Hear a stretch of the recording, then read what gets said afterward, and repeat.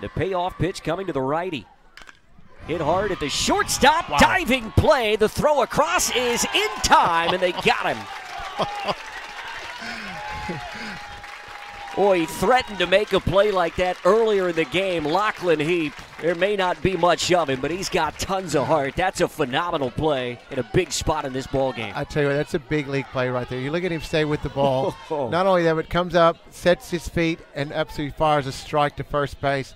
That's a big, big time play by Heap.